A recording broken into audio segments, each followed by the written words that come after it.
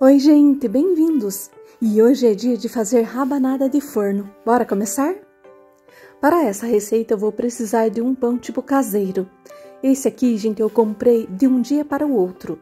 Eu vou descartar aqui as pontinhas e vou fatiar aqui em fatias não muito finas. Olha só como ele fica mais firminho de um dia para o outro.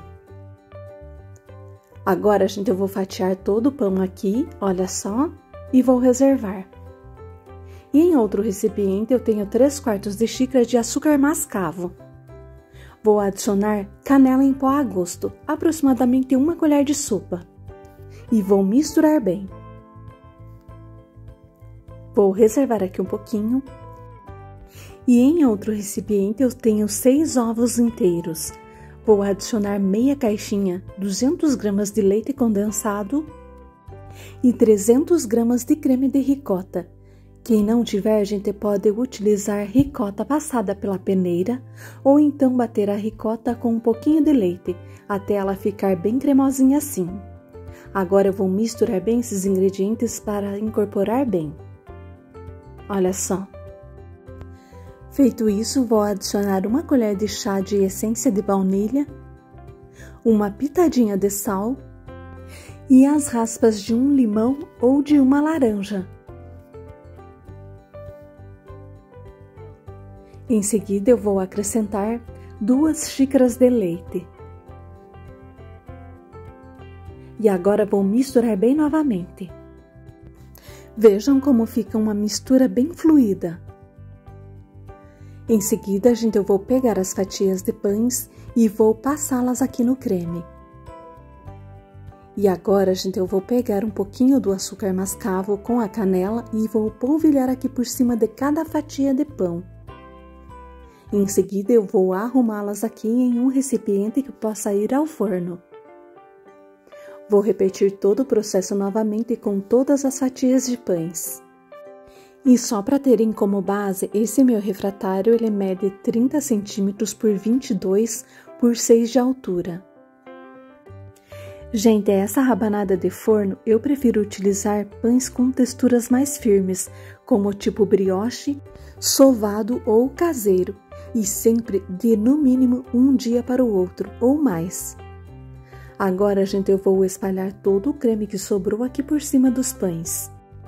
Gente, essa receita é super prática e fica super leve com a adição da ricota.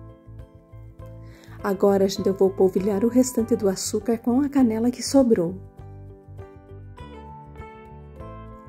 Em seguida, vou cobrir com um papel alumínio e vou levar à geladeira por aproximadamente duas horas. Enquanto isso, vou preparar uma cobertura. Aqui, gente, eu tenho 150 gramas de mirtilos congelados.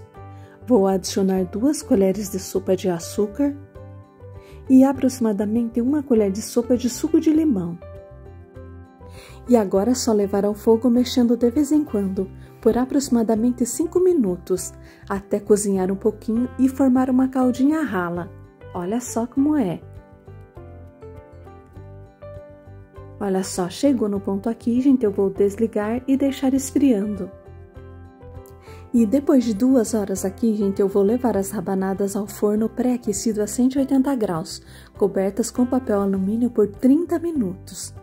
E depois desse tempo, eu retiro o papel alumínio e volto ao forno novamente por mais 25 a 30 minutos. É só ficar de olho aí. E vejam só como ficaram as minhas aqui. E agora é só espalhar a cobertura de mirtilos. Lembrando que pode ser substituída por outras opções aí, gente, como morangos, frutas vermelhas, maçã fica uma delícia, banana caramelizada, enfim, gente, a cobertura que você preferir. Finalizei polvilhando um pouco de açúcar de confeiteiro. E vejam que coisa mais linda e deliciosa para compor a sua mesa na ceia de Natal. Gente, é incrivelmente deliciosa eu sirvo aqui com uma bola de sorvete de creme. É a combinação perfeita com a rabanada quentinha. Vejam só isso. É muito gostosa, gente. Espero que vocês tenham gostado da receita. Façam aí.